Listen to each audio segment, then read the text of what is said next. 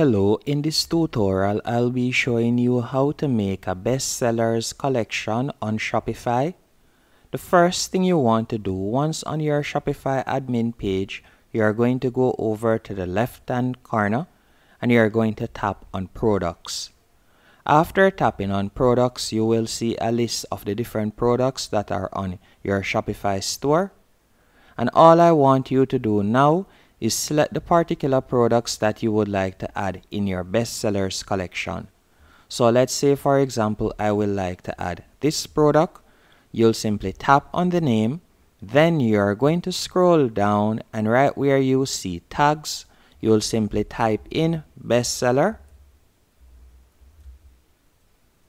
Or you can type in bestsellers, then you'll tap on add and you're going to tap on save in the top right hand corner and you can do this for any product that you would like to add.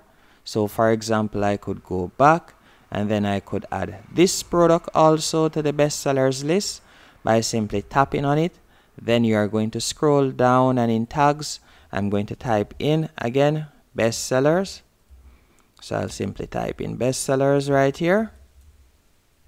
Then tap on add.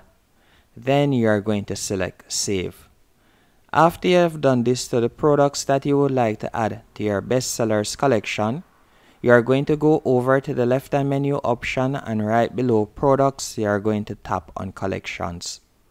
And after doing this, you are going to tap on create collection in the top right hand corner.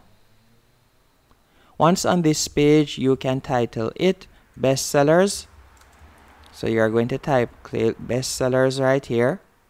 Then you are going to scroll down and you are going to select automated. And you want to ensure that it says product tag is equal to. Then you are going to tap in the blank space right here and you are going to type in bestsellers. After you have done that, you are going to tap on save in the top right hand corner. Once it has been saved, you can see that your collection has now been created. Now all you'll have to do is scroll down and you can see the products that I had created the tag. You can see right here I now have a bestsellers collection. So if you would like to view it as you can see here, view on your online store, I could simply tap right there.